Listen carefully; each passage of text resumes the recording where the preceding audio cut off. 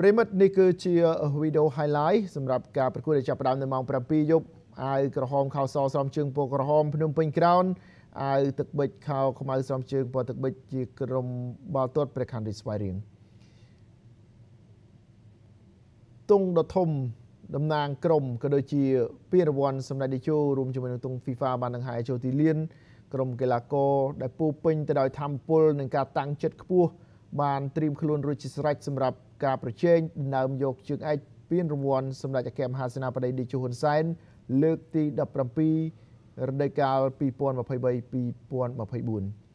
មុនការប្រកួតក៏មានការស្មឹងស្មាតគ្រប់វិញ្ញាណក្ខន្ធរយៈពេល30វិនាទីផងដែរចំពោះការពលីរបស់យោធិនប្រមាណ20រូបនៅឯបន្ទាយយុទ្ធភូមិភាគទី3ដោយសារតែឧបទ្ទវហេតុផ្ទុះបាក់ឃ្លាំងគ្រាប់ផងដែរ លោកកញ្ញាកណ្ដាលជីសាមឌីជាអ្នកបាទគ្រប់គ្រងក៏ដូចជាបញ្ជា នៅក្នុងការប្រកួតនេះផងដែរចង្វាក់នៃការទាត់ពីចម្ងាយរបស់សរិទ្ធគ្រា ស្រាលស្រាលនិងមិនចំគោលដៅហើយចាប់បានដោយអ្នកចាំទីអ៊ុំវិចិត្រត្រង់នេះជាការបញ្ជូនរបស់ Rio Fujii Marcus Warrenhaber ចលនាទៅយកបាល់អ៊ុំវិចិត្រចេញមកការពារ មិនមានការប៉ះទង្គិចគ្នាទេរវាងវិចិត្រជាមួយនឹង Marcus Haber ការប៉ុនប៉ងពីចម្ងាយត្រង់នេះស្រាលស្រាលហើយចំខ្សែការពារអ្នកចាំទីវិរៈតារាចាប់បាន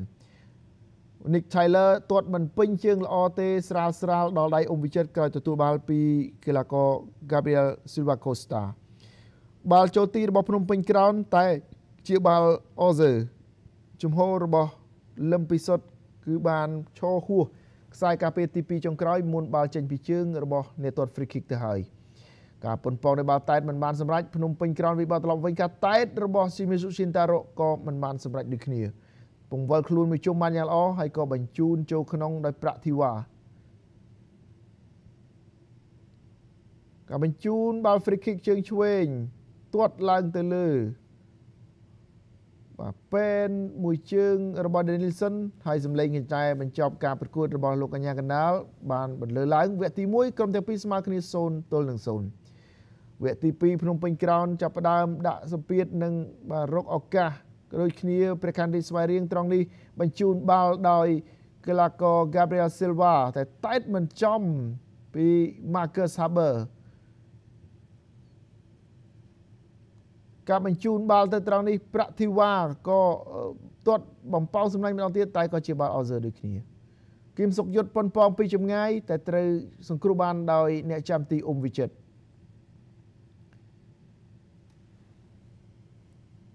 ការបញ្ជូនរបស់ Nick Taylor ត្រង់នេះមានបន្ថែមដែរប៉ុន្តែមិនចំគោលដៅមិនរតនៈប៉ុនប៉ងពីលើដំបូលទូកសង្គ្រោះបានដោយអ៊ុំវិចិត្រជាថ្មី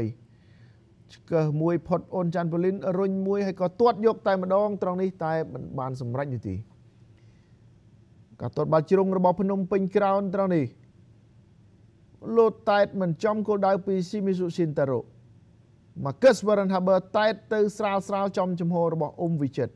អញ្ញាកណ្ដាលផ្លុំកញ្ចៃបញ្ចប់ការប្រកួត90នាទីក្រុមទី2ស្មើគ្នា0ទល់នឹង0បន្តទៅម៉ោងបន្ថែម15នាទី2ដង ដែលធ្វើការប្រកួតជាដល់120នាទី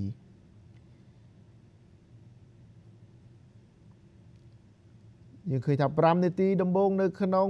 វគ្គទី1នៃការបន្ថែម15នាទីនេះព្រះខ័នរីស្វាយរៀងប៉ុនប៉ងជាបន្តបន្ទាប់បាល់មួយបាល់នេះក៏ជាជំហរអសើដែររបស់ Marcus Warrenhaber លោកមឿនធីលើកទង់ជាសញ្ញាហើយក៏ចង្អុលយ៉ាងមុតមមថាបាល់នេះគឺ ពិតជាជំនួស order របស់ Marcus Haber រូបភាពសារឡើងវិញត្រង់នេះគឺយើងអាចមើលឃើញមុនពេលបាល់ចេញពីជើងរបស់ Gabriel Silva Marcus Haber បានរុលខ្លួនផុតខ្សែការពាររបស់ភ្នំពេញក្រោមទៅហើយមួយបាល់នេះសង្គ្រោះបានដោយអ៊ុំវិចិត្រយ៉ាងល្អការបញ្ជូនរបស់ Gabi បង្វិលខ្លួនទាត់តែសង្គ្រោះបានដោយវិចិត្រ15នាទីលើកទី1នៅតែស្មើគ្នា0ទល់នឹង0 ចូលដល់15នាទីលើកទី2ប៉ុនប៉ងប្រុងប្រយ័ត្នមហិច្ឆតានិងឆន្ទៈក្នុងការប្រយុទ្ធនៅតែពុះកញ្ជ្រោលដូចគ្នាត្រង់នេះជាការប៉ុនប៉ងពីចម្ងាយរបស់កើតពេជ្របាទលើដំបូលទូកទាត់ជើងឆ្វេងរកមុំធំតែមិនចំគោលដៅនោះទេទំនងមែនទែនពីការប៉ុនប៉ងរបស់កីឡាករបំរុងមានប្រភពពីខេត្តកញ្ចេះរូបនេះ ត្រង់នេះហើយគឺជាក្របោលមួយគ្រាប់ដ៏មានតម្លៃពី Marcus Warrenhaber បាទมันមានអ្នកនៅពីក្រោយ គឺអត់បានឆែកក្រោយខ្នងมันមានអ្នកទម្លាក់មកជួយការពារទេត្រង់ចំណុចនេះ Marcus Haber ឈរទៅទំនេរម្នាក់ឯងទប់ទ្រូងបានយ៉ាងស្រួលទាត់បញ្ចប់ទីមិនអោយអ្នកចាំទីអ៊ុំវិចិត្រជួយ សង្គ្រោះបាននោះទេសំឡេងហូកញ្ជ្រៀវ បានលន់ឬឡើងចេញពីក្រុមអ្នកគ្រប់គ្រងរបស់ព្រះខ័នរីស្វាយរៀងភាពស្ងប់ស្ងាត់ក៏បានកើតឡើង ចំពោះអ្នកគ្រប់គ្រងរបស់ក្លឹបបាល់ទាត់ភ្នំពេញក្រោនសម្លេងកញ្ចែបញ្ចប់ការប្រកួត បានបង្ហាញឲ្យឃើញពីម្ចាស់ជើងឯកពានរង្វាន់សម្ដេចអគ្គមហាសេនាបតីតេជោហ៊ុនសែនលើកទី17ឆ្នាំ2023 2024 យ៉ាងណាក៏ដោយបើមានការប៉ុនប៉ងជាច្រើនលើកច្រើនសារទៀតតែនៅតែមិនបានសម្រេចសម្រាប់ក្រុមទាំងពីរព្រះខារីស្វារៀងក្រុងជើងឯកពានរង្វាន់សម្ដេចតេជោជាលើកទី5ក្នុងប្រវត្តិសាស្ត្ររបស់ខ្លួនច្រើនជាងក្លឹបណានាទាំងអស់នៅក្នុងប្រជាជាតិកម្ពុជាក៏ដូចជាការ